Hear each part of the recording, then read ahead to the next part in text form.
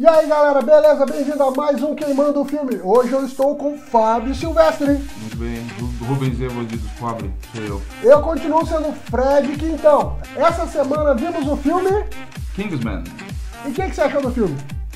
Eu acho um ótimo filme para entretenimento, para você passar uma tarde no, no cinema, se divertindo, sem pensar muita coisa.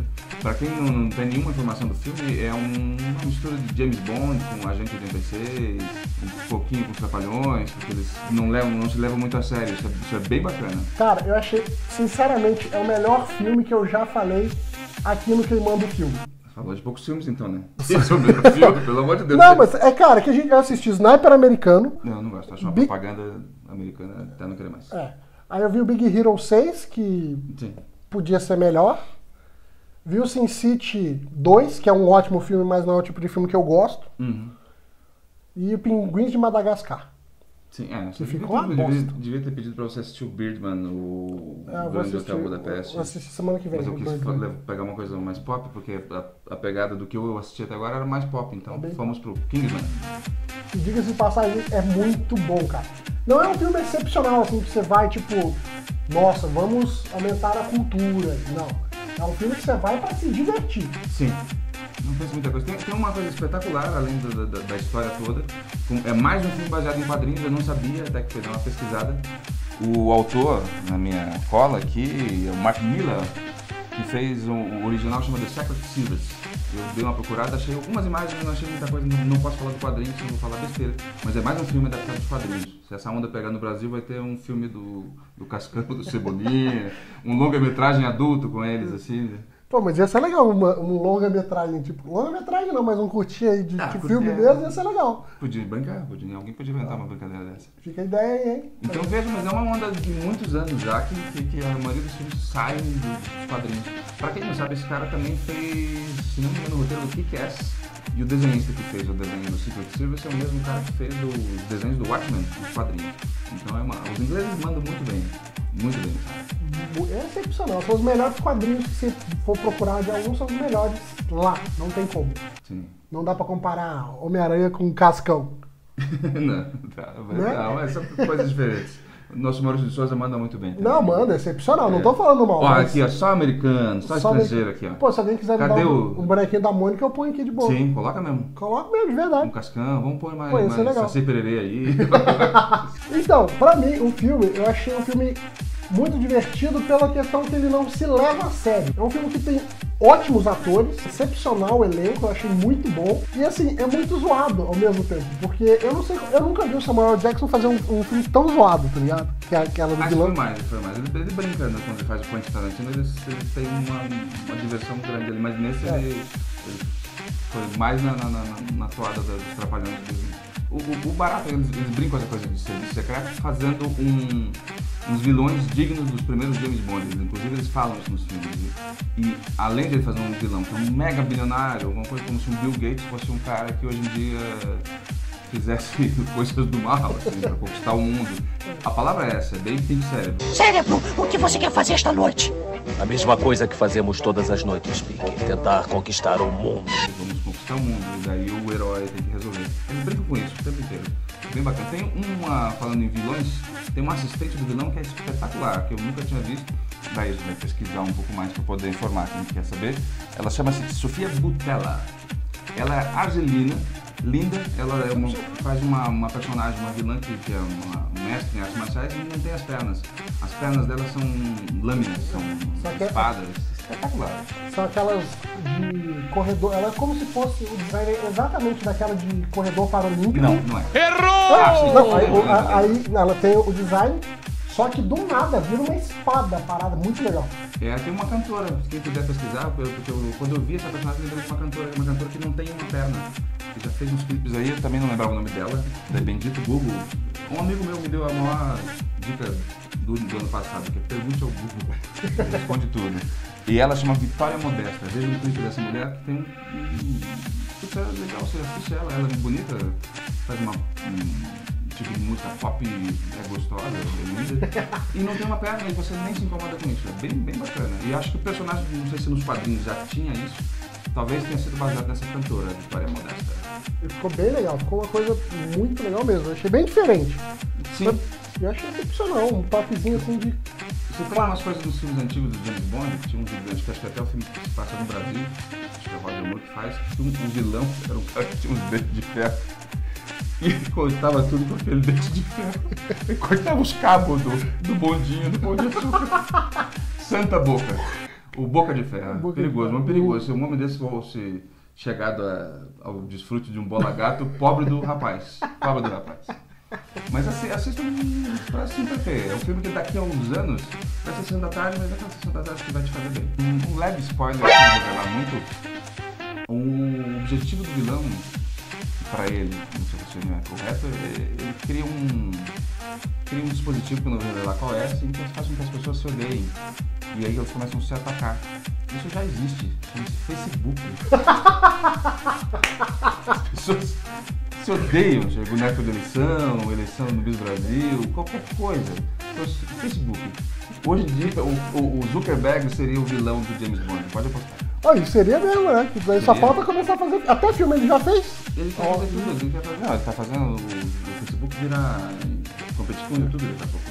É isso também, conquistar o mundo, né? Já comprou o WhatsApp.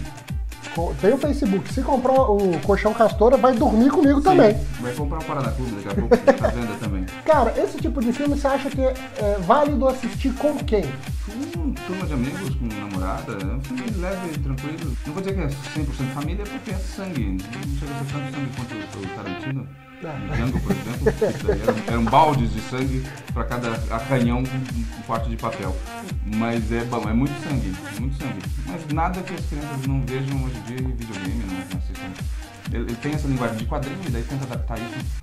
Vocês falaram do comentário do Sin City num, num outro queimando filme que, que, que, a- que traduz muito bem essa linguagem do quadrinho para o cinema, uma das me- melhores adaptações. Eu gosto mais do primeiro que do segundo. Eu também. Embora tenha a Eva Green, que por si só vale o Sin City 2. Espetacular. Eva Green é. Eu casaria. Casaria com a. Cara, então, pra mim, eu achei que esse filme é muito. sa- Sai com os amigos em geral, assim, tipo, ah, vamos, vamos no cinema, todos os brothers juntos. Eu acho que é um filme muito romântico, assim, tipo, ah, vamos com a namorada. Não, acho que não. Divertiria também, depende do gosto dela. É, depende, depende muito do casal, mas pra mim é só pra ir com os brothers sus. Eu lembro de você comentando com o Laco que era, vocês eram pessoas que eram público comum. Eu, ao contrário, eu sou um pouquinho cinéfilo. É verdade. Assisto um pouco de tudo. Do, do- do Oscar eu só furei com os documentários, ainda faltou só três, e com as animações. O resto eu vi tudo. Nossa Sou maluco por, por cinema. Assim, a gente gosta também, a gente só não sabe. Não, mas cada um. Cada- É como música, cada um tem, tem um gosto. Eu, eu tento ver um pouquinho de tudo. Seja, Uhum. ah, adoro o, o casamento dos trapalhões. Pra mim, é um dos melhores filmes brasileiros dos anos 70. E assim como gosto de outras coisas. Eu sou louco por Chenille. Então, esse esse ano foi um ano espetacular de cinema. Experimenta sair um pouquinho do pop também nas próximas, pra, pra ter uma opinião do, do cara Sim, comum. Que pode ser que diga e diga, o Jay, o Birdman. Não entendi, É. aquele cara de cueca na Times Square. Eu quero ver, inclusive, porque eu vi bastante gente falando que não gostou. Vamos começar com as notinhas. Diga. Notas de 0 a 10. Nota pra roteiro. Eu sou meio rigoroso, então Pode ser, a nota é sua. de 0 a 10? 8, porque ele se, se- se- a- atende ao que se presta, assim, pra, pra função que, que ele queria, que é brincar com esse universo do, do, dos filmes de James Bond, que é uma coisa que faz parte da cultura dos ingleses, desde que eles praticamente Começaram. É, nesse século, né? nesse século passado. Eu já sou um homem do século passado, sendo antigo, mas, mas começa com a Agatha Christie, assim, gostar desse universo de investigar, talvez tenha algum precursor, mas tá no cerne deles. Então eles fizeram uma coisa que os ingleses curtiram. Então atingiu o objetivo, oito. Pra mim aí é 8,5, porque, como você mesmo disse, já, é já não é um roteiro 100% cru. Eles já vieram, já tentaram traduzir em, um tempo escasso uma história inteira de um quadrinho.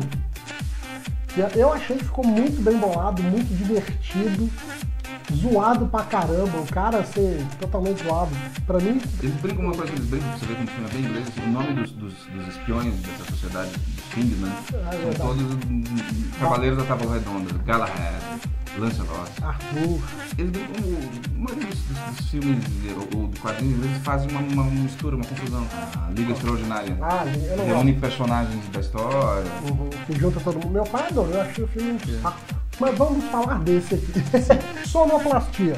Trilha sonora, trilha sonora geral. Eu gosto, embora, embora eu não lembre de nenhuma música. Ah, falando em trilha sonora, uma coisa que, que, que eu, pesquisando com o senhor Google, descobri também que a Adele ia fazer filme. Ia fazer, o vilão seria a Adele. Não, com certeza não o mesmo vilão que o Samuel Jackson fez no serial. Mas eu não lembro muito da trilha, então eu acho, acho que ela funcionou. A trilha que não aparece muito e funciona é como um juiz, que não tem que ser notado. Fica na cabeça mais imagem do que, do que a trilha. Uhum. Não, eu gostei da trilha, a trilha sonora geral, assim, eu achei bem legal, porque eu achei muito zoado, principalmente a hora que ele começa. Tem uma hora muito é específica, que é a hora que começa, a primeira vez que ele aciona o dispositivo, começou uma música muito zoada. Eu achei muito legal. Eu achei a música excepcional, porque era um negócio, era uma cena meio trágica. Mas ao mesmo tempo ficou muito engraçado por causa da trilha. Eu achei que funcionou muito, minha nota 8,5 fácil. Nota de edição. Sei lá, da nota de edição. Por mais que eu diga que seja cinéfilo, não, não sou um avaliador de, de montagem ou de edição. É, é, é uma edição bacana como todo filme de ação. Não, é, não tem nada diferente que já não, não tenha visto no, Sherlock dos próprios ingleses, ou outras coisas assim, com cortes rápidos, secos, brutos. Dessa coisa que ele fala, de uma, uma, uma trilha mais leve para suavizar uma cena pesada. Não, não tem nada de, de grande novidade. É bem feito, é um, é um filme bem feito. Então, uma, um 7, porque tem, tem coisa muito, muito melhor frente. Eu dou 7 também porque ele não, não tem nada de muito, efeito muito ó. Por mais que os efeitos são mais simples. Esse- Não, nenhum efeito ó. A rapaziada ali é meio. É, não, então, não teve nada, né? não teve. teve foi Masculino tudo mesmo. simples. Foi, foi meio, assim, alegre. É bem seco, né? Mas, tá, tá. As cenas de luta são muito boas, assistam elas. Assim, é bem bacana. Mas é uma coisa que no Sherlock 1, lá com o Robert Downey Jr., já tinha. Quando ele. Você tem uma. Mas eu acho que o resultado foi melhor no Sherlock. Ah, é. Mas são muito boas as lutas. Todas elas. Mas Sherlock foi um filme um pouco mais sério. Eu gostei muito mais do Sherlock do que desse. Esse pra mim é um filme zoado. Foi assim, tipo, ah, vamos assistir todo mundo em pânico ou Kingsman? Kingsman. Entendeu? Foi ali na mesma. Na São minha- propostas diferentes, São. assim. Na- Lá você tem o Robert Downey Jr. que, consegue ir pros dois lados muito bem. Então, se, se tira sarro do personagem, não, não do filme. do personagem. É, eu achei excepcional. E agora a nota do filme geral. No universo ficava aí uns, uns 7,5. Não é um filme inesquecível, não é um filme, mas não é um filme ruim, ele passa, passa na média. Provavelmente teve uma, uma recepção boa de bilheteria nos Estados Unidos, nada espetacular, pelo que eu li também no Google, 210 milhões de dólares na temporada rápida que ele ficou. Então, provavelmente vai ter uma sequência. E se eles não se levaram a sério na primeira vez, também não vão se levar a sério na segunda. Recomendo. Eu iria ver, ver o 2, com toda certeza. Pra mim a nota desse ficou 8,5 também. Porque é um filme muito divertido e eu me diverti muito indo. Ganhei uma vida. eu achei muito legal, cara, porque foi um filme que eu fui pra me divertir. Eu fui achando que não ia ser. Eu achei que ia ser até um pouco mais sério. O Fábio que indicou o filme falou, ah, vamos lá, eu falei, vamos, vamos. Entrei no filme achando que era tipo, putz, né? Aí, cara, o filme começou já zoado. Falei, ah, vai ser muito bom. E eu achei excepcional. Ele é muito divertido. E pra mim, filme tem que ser divertido, porque é os tipos de filme que eu gosto de assistir. Minha notinha 8,5. Queria agradecer a presença do Fábio por ter vindo, por ter aceitado o convite. Fábio, recomendações de, de onde te encontram, o que, é que você faz da vida, onde é que te mandam um beijo. Não, não, não, pelo amor de Deus. Eu já passei dessa fase. Hashtag, já passei. Hashtag coraçãozinho, não. Me, ach- vocês me acham no teatro, me acham no, no- no YouTube. Eu tô, acabei de montar um canal que é meu último projeto. Quem não sabe, eu fazia Praça Nossa, fazia o bigode. O senhor sabe que eu não gosto de passagem, que eu odeio, odeio, odeio. Saí lá pra tocar um projeto pessoal meu que chama TV Vila, o canal do pobre. A gente faz, é uma versão pobre de toda a televisão mundial. assim. A gente faz massagens do trato feito do History Channel, chama-se Treta Feita. Muito bom. Se vende de tudo, a gente já vendeu a peruca do Silvio Santos, já vendeu A cueca do a Wanda. cueca do Vando, o dedo perdido do Lula. Daqui a pouco vem mais uma temporadinha. A gente tem um, um talk show também que chama-se Tomando na Cozinha, com Arlindo Beleza.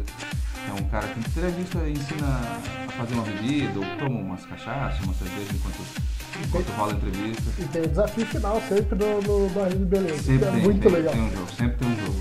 O Arlindo já ganhou duas e perdeu uma. É, É bem, bem bacana. ganhou. Visita lá. TV Vila, o canal do Cobre. Bem, bem bacana. A gente está criando proximamente um jornal nosso que é o Vila News. com N-I-U-S. Contando todas as notícias mais desimportantes do mundo. O, o slogan é Vila News, a notícia em segundo lugar. É muito bom. Gente, obrigado. Beijo pra vocês e tchau! Grande abraço. Veja um bom filme, gente.